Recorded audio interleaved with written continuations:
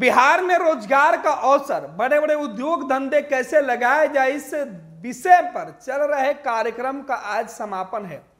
आज दूसरा दिन है। आज मुख्यमंत्री नीतीश कुमार खुद इस कार्यक्रम में शामिल होंगे। बड़े बड़े बिजनेसमैन भी इस कार्यक्रम में शामिल होने के लिए देश विदेश से आए हैं। बड़े उद्योगपति। जिस अडानी से पूरे कांग्रेस को काफ़ी खींच है। अडानी का नाम सुनते ही संसद में बवाल मच जाता है। कांग्रेस आरोप लगाती है तो बीजेपी संसद में अडानी के समर्थन में खड़े हो जाती है। आज उसी अडानी ग्रुप के लोग पटना में होंगे। आपको बता दें कि प्रणव अडानी आज नीतीश कुमार के बिहार में उस मंच पर मौजूद होंगे, जिससे बिहार में उद्योग के बारे में चर्चे किए जाएँगे। कमल ओसवाल भी मौजूद होंगे। राजेश अग्रवाल भी रहेंगे और तुषार जैन भी रहेंगे। महेश कुमार और दिलीप कुमार, अमित सरावगी।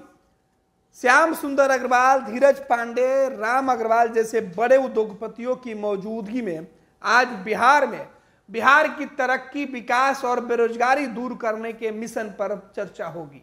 आज बनेगा, बिहार को विकसित करने का प्लान और इनका मिलेगा, बिहार में कितना योगदान, वो देखना दिलचस्प होगा।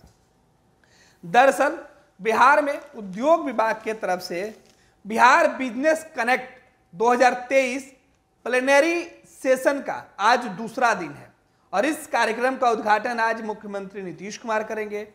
प्रमुख कंपनियों और उद्योग विभाग के बिहार में निवेश प्रस्ताव से संबंधित समझौता पर आज होगा हस्ताक्षर।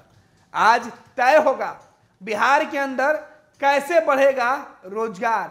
कैसे बिहार के लोगों को मिलेगा?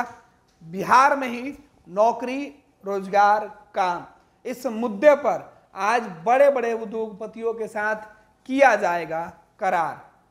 आपको बता दें कि पिछले दिन, यानी कि बुधवार को जिस सेशन की शुरुआत हुई, तमाम लोगों ने बिहार के अंदर घूम घूम कर यह देखा भी कि कहाँ पर वो उद्योग धंधे लगा सकते हैं, कहाँ पर उनकी फैक्ट्रियाँ लग सकती है, कहाँ पे बिहार में निवेश करने से उनको फ़ायदा पहुंचेगा और बिहार को ज़्यादा से ज़्यादा लाभ होगा। आज उसी दिशा में बड़े पैमाने पर नीतीश कुमार के समक्ष तमाम उद्योग विभाग के जो अधिकारी हैं देश विदेश से जो आए हुए मेहमान हैं, वो समझौता करेंगे। हस्ताक्षर होगा। उस प्लान पर जिसकी नींव नीतीश कुमार और बिहार के महागठबंधन की सरकार रखना चाहती है। उद्योग विभाग के कार्यक्रम के माध्यम से सीधे तौर पर बिहार में रोज़गार के अवसर तलाशने वाले नौजवानों को लाभ पहुंचेगा।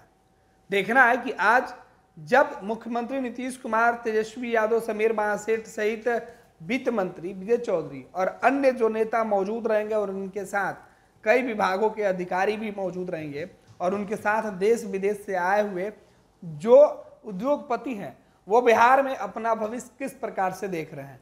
क्या नीतीश सरकार उनको भरोसा दिलाती है? क्या अदानी समूह को बिहार में इंडिया गठबंधन के मज़बूत नेतृत्व वाली गठबंधन के नेताओं के सामने इस कितना जगह दिया जाता है, कितना सम्मान मिलता है, वो भी देखना होगा। क्या कांग्रेस जिसका विरोध देश भर में करती है, वो अडानी बिहार में उद्योग लगा पाएँगे? वो देखना सबसे दिलचस्प है। क्या आप अपने माता पिता बनने का इंतज़ार कर रहे हैं? ओएसएस फर्टिलिटी ने लगभग नब्बे हज़ार जोड़ो के जीवन में खुशियाँ भर दी है। आज ही eight nine two nine seven double five one zero one आरोप कॉल करें। ओएसएस फर्टिलिटी के कम लागत वाले आईवीएफ उपचार की सहायता ऐसी अपना सपना पूरा करें और सभी को खुशखबरी दें।